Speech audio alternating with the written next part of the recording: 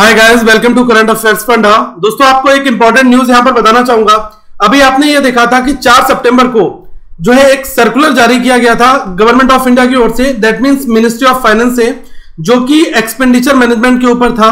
तो इसमें यह कहा गया था there will be a ban on creation of new post ठीक है? तो उसमें एक डेट भी दी गई थी, मैं आपको वो सर्कुलर भी दिखाऊँगा। आप इतना यहाँ पर ये समझे कि ये जो कंप्लीटली सर्कुलर है, इसके ऊपर गवर्नमेंट ऑफ़ इंडिया का एक क्लैरिफिकेशन आया है। अब उस क्लैरिफिकेशन में उन्होंने क्या कहा है? ये आपका मिनिस्ट्री ऑफ़ फाइनेंस का ऑफिशियल ट्विटर हैंडल है।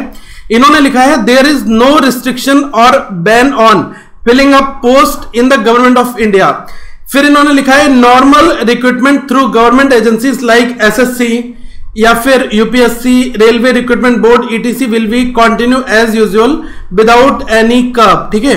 अब इन्होंने एक पॉइंट और था, वो भी मैं आपको यहाँ पर इनका बता दे रहा हूँ, जिसमें इन्होंने लिखा था the department of expenditure circular dated four September 2020 deals with internal procedure for creation of post and does not it any way affect or curtail recruitment ठीक है?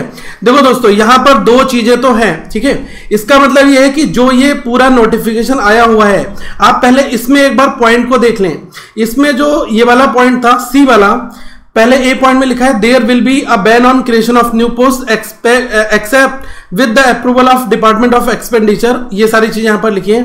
सी में लिखा है if any post have been created after 1 7 2020 under delegated powers or authority without approval of department of expenditure and have not yet been filled then such posts shall not be filled, ठीक है? मतलब यहाँ पर दोस्तों, इनके internal procedure internal department की यहाँ पर बात हो रही थी और उसके अंतर्गत ये वाली बात कही गई थी। लेकिन यहाँ पर ऐसा तो नहीं है कि सब बिल्कुल चंगा सी, किसी चीज़ में कोई समस्या नहीं है। आप यहाँ पर ये देखें कि पहले तो वैकेंसीज आ ही नहीं रही है ना, इसी वजह से तो लोग जो है इस तरीके का प्रोटेस्ट कर रहे हैं। रेलवे की नौकरी में जब आपने देखा था कि नब्बे हज़ार पोस्ट आ गई है, धमाका हो गया है इस तरीके से तो उन्हीं सारी चीज़ों के ऊपर लोग अपना विरोध प्रदर्शन दिखा रहे हैं, ठीक है? तो ये कहा गया है कि आने वाले टाइम पर जो भी रिक्रूटमेंट होंगे, उनके ऊपर इनका कोई भी जो है इफ़ेक्ट नहीं पड़ने वाला एज यूजल होंगे। तो यहाँ पर जो नाम दिया गया है कि एसएससी है यूपीएससी है रेलवे है, ठीक है इट्सेट्रा और भी लिख दिया है। दैट मीन्स कि आप ये समझ सकते हैं कि अदर डिपार्टमेंट भी है। तो इनके ऊपर ये बात कही गई है। लेकिन ये जो सर्कुलर आया है ये मुझे भी ऐसा लग रहा है कि इस सर्कुलर का जो हमारी जो रेगुलर वैकेंसीज आती हैं, उनसे कोई भी लेना देना नहीं होगा। ये इनके इंटरनल डिपार्टमेंट में जो क्रिएशन ऑफ़ न्यू पोस्ट के ऊपर बात कही गई है, ताकि उस एक्सपेंडिचर को थोड़ा क्रॉस कट करके मैनेज किया जा सके। ठीक है, ये पूरा ऑफिशियल एक सर्कुलर था, जो चार सितंबर को जो है जारी किया गया था। इकोनॉमिक फर्दर इकोनॉमिक मेजर्स को ध्यान में रखते हुए एक्सपेंडिचर मैनेजमेंट ये इनका एक सब्जेक्ट था जिसमें इन्होंने जो है एडमिनिस्ट्रेटिव एक्सपेंडिचर के ऊपर अपनी अपनी पूरी बातें रखी थी। और जो क्रॉस कट करने के लिए इन्होंने पॉइंट नंबर टू में बताया था कि क्रिएशन ऑफ़ पोस्ट में आपको क्या करना है, ठीक है? तो ये दो तीन चीज़ें हैं जो यहाँ पर इन्होंने बताई थी। अब इनका फाइनली एक क्लैरिफिकेशन आ गया है। अब यहाँ पर एक बड़ा सवाल और भी होगा। मैं ये चाहूँगा कि आप सभी इसी ट्विटर अकाउंट में, मैं इसको ट्वीट कर दे रहा हूँ अपनी प्रोफ़ाइल से। अपना लिंक भी नीचे दे दूँगा।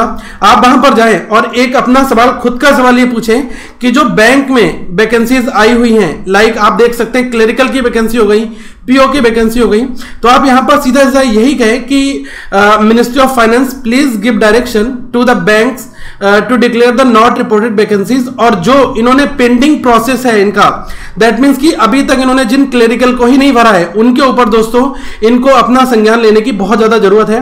और अगर आप सभी मिलकर इस ट्वीट के नीचे ही अपनी बात रखेंगे तो ऑब्वियसली मिनिस्टर ऑफ़ फाइनेंस के कानों में थोड़ा सा तो uh, असर पड़ेगा और वो इन चीज़ों को समझेगा कि यहाँ पर जो बात कही जा रही है वो कायदे में लोग उससे परेशान है अफेक्टेड है और कहीं ना कहीं पर वो भी एक सीरियस मुद्दा है। मैं इस ट्वीट को कर दे रहा हूँ और नीचे अपने ट्विटर अकाउंट का लिंक दे दूँगा आपको पहले कमेंट में। तो आप वहाँ पर जाकर इन चीज़ों को भी दोस्तों देख सकते हैं और ये हमारे लिए एक थोड़ी सी राहत वाली खबर भी हो जाएगी।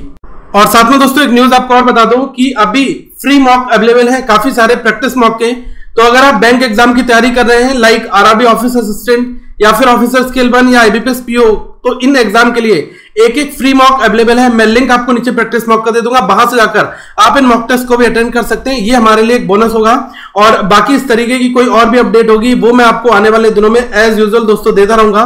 तो हमारे साथ बने रहें। So thank you so much for watching this video please इस वीडियो को शेयर कर दें ताकि और लोगों के मन में कोई शंका न रहे और वो भी इस ट्यूटर में अपनी भागीदारी को आगे बढ़ा सकें। अगली वीडियो में हम फिर मिलेंगे। Have a good day to all of you once again